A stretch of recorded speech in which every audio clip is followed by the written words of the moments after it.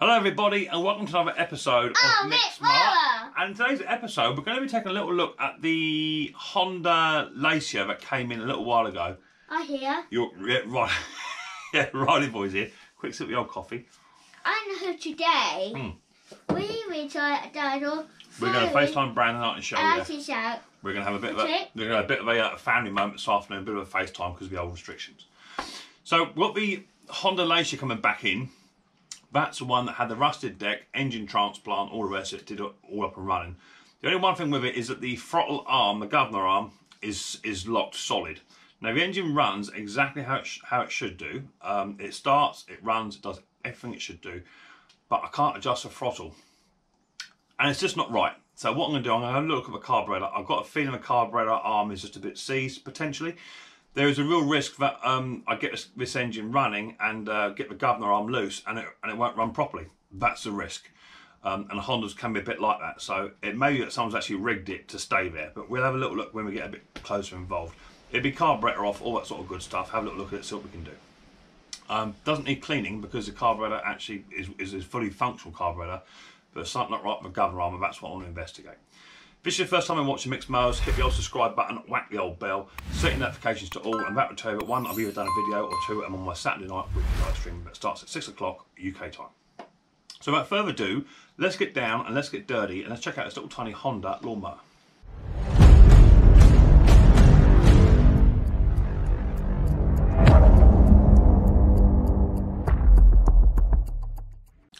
Right, here it is, and um, as I say, it's all running as it should do, but this governor arm seems to be C-solid. There's a lot of leaflet behind here. I don't think that's the cause. Just seems to be there's nothing adjustment-wise to be had here. It's just not doing what it should be doing. So it could be a quick little video. It may all be for nothing, but I just thought I'd document it. Um, it's content for the channel. You just never know. So this one I got running the other week, as you know and uh, it was a bit mucky. Oh my lord, stay, stay at that filter. Let's try to keep all of this out of the carburetor where I can. Let's stay to that one. Even got a mothball in there. Stay at that. So that one cleaning up. Um, no dirt in there.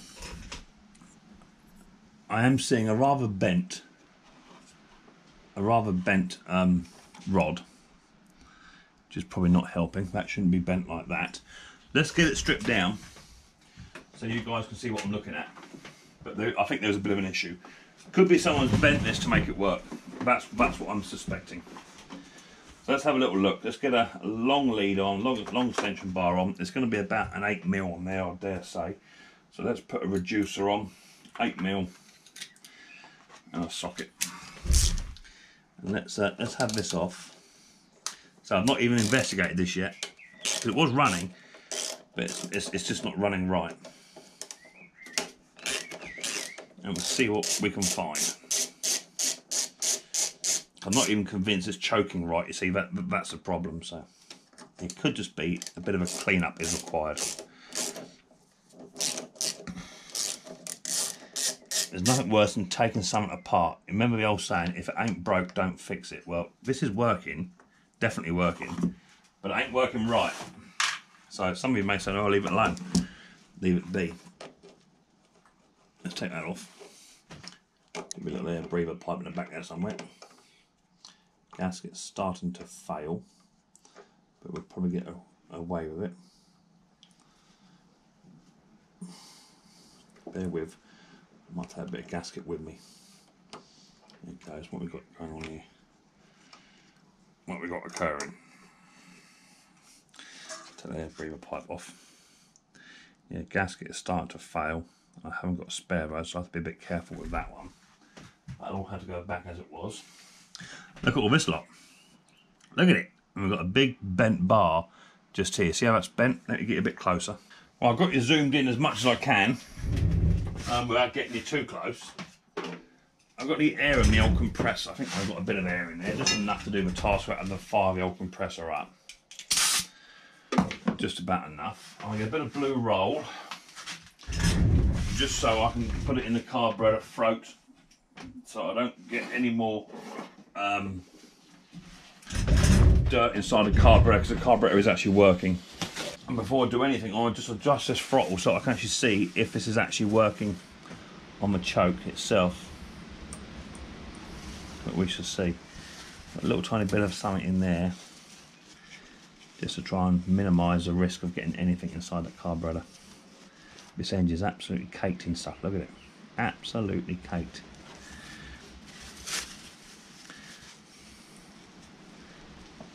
And try and poke something in there just to just to try and stop it from collecting anything.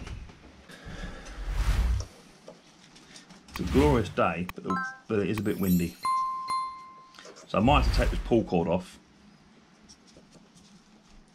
because it is absolutely caked in here. So a bit of an air compressor, trying to blow some stuff off here.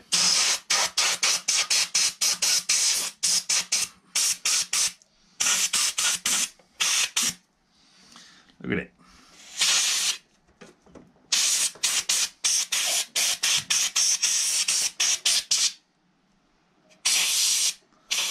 Right, I'm going to have to fire my compressor up because uh, it needs a, a, quite a solid blast off. Okay, bit of a clean off. So now we can see what's exactly going on here. And there's a, looks like there's a couple of bits missing. So number one, there should be a rod coming from here, coming either back to here or back to here. This rod is, is, is bent, I dare say because this is probably jammed and that's bent that up.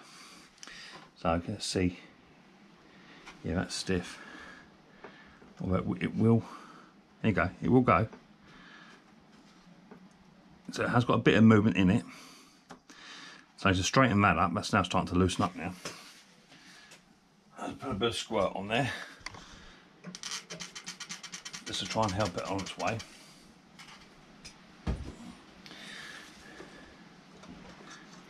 Yeah, see how, how it's forced. And push it all the way around. So it is now starting to starting to go. It's very very stiff though. It is it is going though. It's starting to loosen up. So let's push that rod back down straight to where it should be. Just move somewhere there. and now we have a nearly working throttle. It wants a bit of work.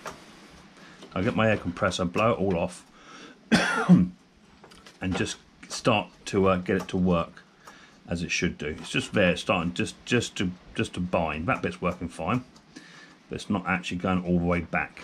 And what's happened is someone's forced it, and it's now started to uh, to bend. So an air compressor onto there. Um, that has now got the governor arm 60% working. Just a touch more. There it goes. It's starting to go now. There you go. Now it's starting to go. So yeah, I'll compress that off. So that will start to work as it should do, which is good. But there's a bit missing. Here to here, here to here, or here to here. But don't forget, I've got a donor engine, um, which one that had no compression. So I have a, a, complete engine that hopefully has the parts on that I need. So let me go and find it in a mower store. Um, see what I can find. If it's got the bit I need, I'm in the winner. Right, so now we're back. I've been to the old mower store and I've found the bits I need. It is missing some bits. I've just given that a blow off of an air compressor and as you can see now, that's pretty much there. That's doing what it should be doing. Okay, so happy with that. Um, so number two, it's missing two bits. It's missing this arm, which goes onto there and comes back onto here, okay? Now there is a little tiny bend in here, which I'm going to leave for now, because I believe that to be to be true. And then we've got this little tiny device here. Now this should, I've sort of forgotten which way around it went. So it's going to be a bit of trial and error. But I'm guessing, and this is a guess, this may come off two or three times yet. That's going to clip in into there if I can get it to go, get it to fit. Like so, nearly there. Get in there.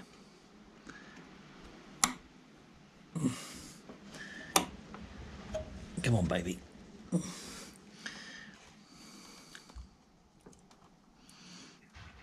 Slide in there. That's it, right, that's now gone in. So I need to just figure out which way around it goes. Because that arm will, go, will be pushed up when it's asking for choke and it should be pulled back off of the cover. I think it goes like so. And then this little chappy goes into there. And then when I set it to choke on the top assembly, which is all the way back, I believe, that arm should go there, that should go onto there, and that's that now locked into place. So that should be set to throttle, sorry. And when I ask it to choke, this should slide back. The arm should come up from behind here, it's here at the moment. That should come up and push this backwards, asking the carburetor to choke, which is now choking in the choke position there, okay? That's the idea. So let's try that now. There you go, asking for choke and it's got choke. So now we've got a, a choking carburetor and hopefully um, a, a, carburetor which will now um, at least idle down. I may have to adjust the idle because that does seem to be quite set quite high to me. It's got more than two or three threads out. I'll leave it for now. Only problem is with these Honda, these sort of style carbs, you have to take all that stuff off again to just wind that screw out. You can't get into it, okay? So on top of that, I have also found another filter which is in much better condition than the one I had before. My old one is somewhere. I threw it pretty much somewhere out the way because it's absolutely full of stuff. Right, now with all of that sort of tidy, I just want to blow this um, this air filter box out.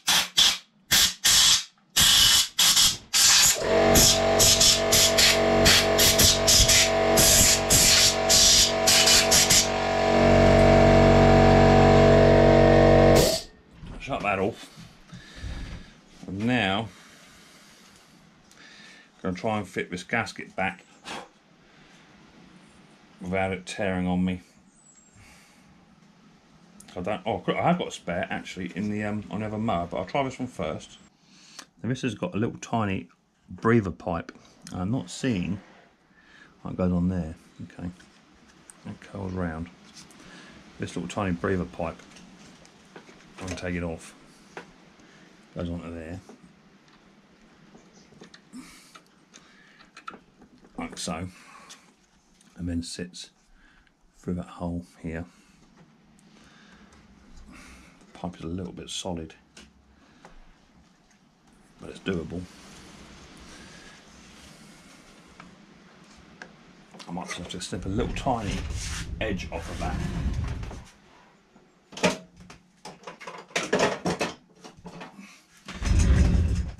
Just put a little tiny point on it because it is just a bit hollowed off and a bit rounded at the top end. So if I clip that like so, and then just put a little tiny point on it like so,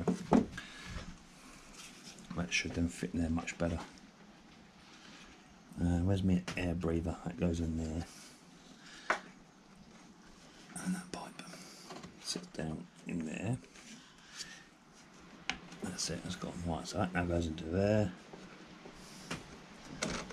Goes onto there. Happy with that. Yep. Okay. Uh, two 8mm bolts goes onto the engine itself. So I want to get this one done because I want to get, get it out and sold, see. It's no good just sitting there waiting waiting for spare parts whatever. It's got, to, it's got to go out. So got to get the service yet, all that sort of good stuff. It's had it already had the oil changed done to it, and the blade sharpener and balance because I did it as part of the, uh, the engine swap. So it's partially done. Could do with a new spark plug. So I'm just going to whip that on there now. I know that some people have been asking questions about these little um, GV100s, where the springs go, so hopefully that clears it up. Because you don't have a spring, you've got this, one, this, little kiddie here, that one there. Right, that's all on. Air filter is much cleaner than the old one.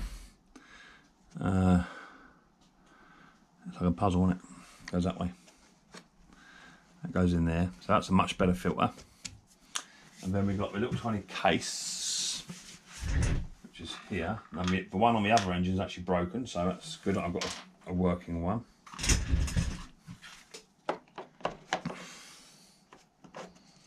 That all goes onto there. That all goes onto there. Now, can I get to that screw? I might be able to get to a screw with a long reach screwdriver to back it off if need be.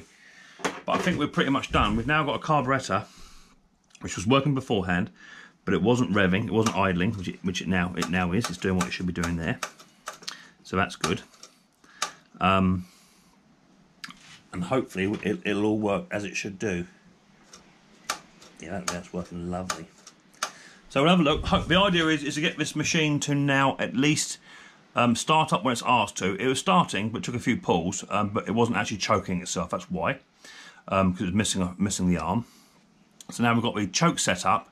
The throttle arm is and the governor arm is now um, working as it should do. It wasn't even moving beforehand.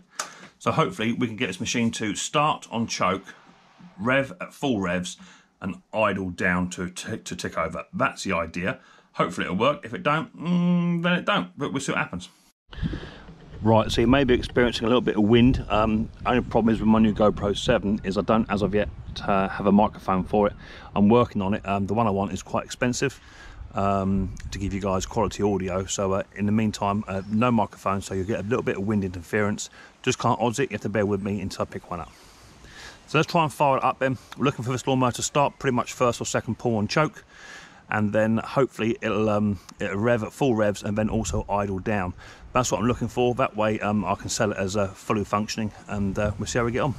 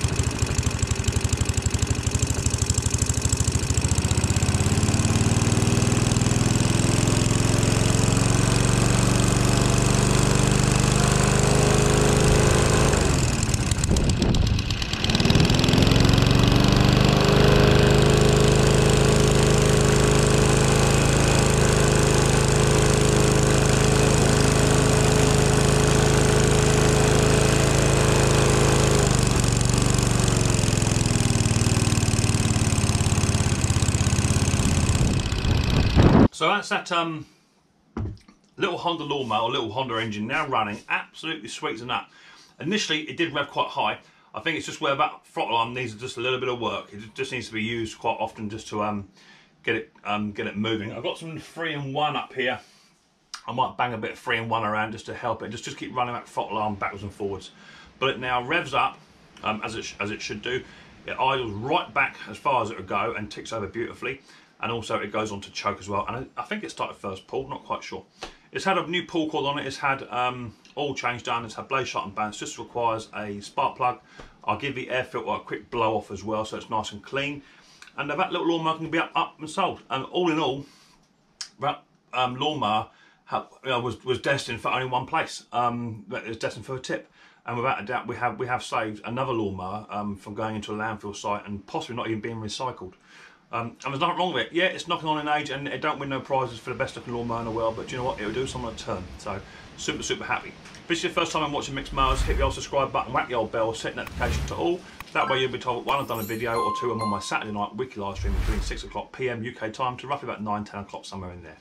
I hope you did enjoy this video. If you did, give it a big thumbs up. Helps towards the growth of my channel. And uh, don't forget to leave any comments you got down below in the bottom section there. Positive, negative, don't really mind. And I'll get back to you as soon as I can. I hope you enjoyed this video. I look forward to seeing you on the next episode of Micks Mowers very, very soon. But until then, people, don't forget, more importantly, take her easy.